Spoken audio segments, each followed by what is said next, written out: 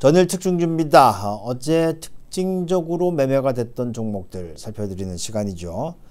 자, 먼저 어, 환율이 안정됐음에도 불구하고 매도를 이어갔던 외국인 투자가들 어떤 종목을 매매했는지부터 좀 살펴보도록 하겠습니다.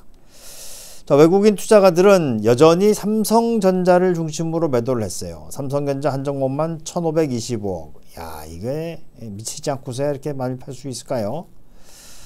아, 그리고 그 ETF를 제외하고는 카카오, 카카오는 이제 타다금지법이 나와서 그렇게 되겠죠. 현대차, SK노베이션, SK 하이닉스, 하이닉스는 상대적으로 좀 덜 팔은 그런 상황이 됐고요.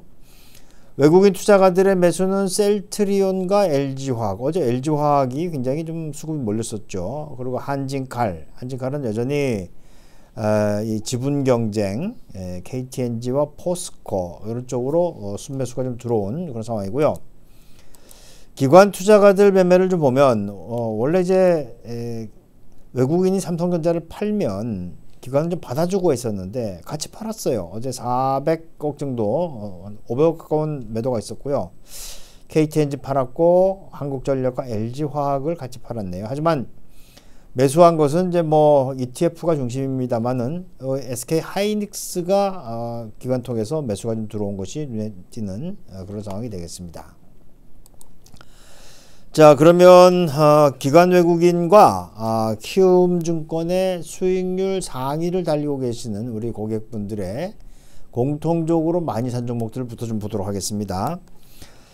자 어제 가장 눈에 띄는 것은 셀트리온이었어요. 셀트리온, 셀트리온 어제 장대 양선이 나왔는데요. 어, 560억 매수가 있었고요. LG화학 어제 수급이 많이 쏠렸었는데 328억, 한진칼 243억, SK 네트워크스가 들어왔네요. 127억, 어, 네페스도 여전히 에, 그 매수 상위에 있습니다. 78억. 차트 잠깐 좀 보고 가도록 할까요?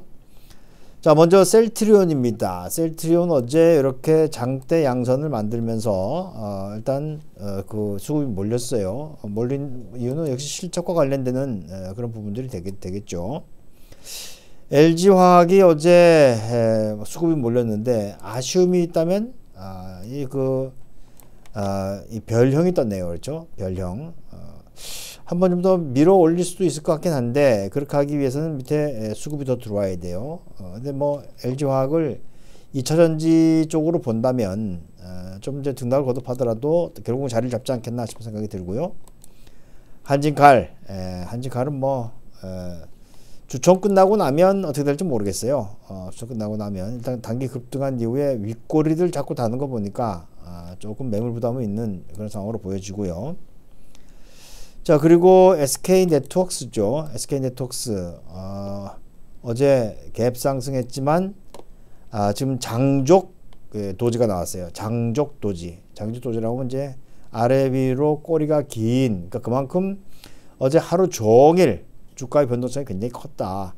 주가의 변동성이 컸다라고 하는 것은 심리가 아직은 불안하다. 이렇게 볼 수 있을 것 같고요. 아, 네페스 여, 좋아요. 여전히 빳빳한 움직임을 에, 보여주고 있는 그런 상황이죠. 다만 이제 아, 주가가 밀고 올라, 올라오다 보니까 위쪽에서는 대기 매물이 에, 있는 것은 어, 맞는 것 같고요. 거래도 괜찮은 상황이니까 아마 추세는 어, 당분간 살아서 움직이지 않겠나 이렇게 감히 예상해 보도록 하겠습니다.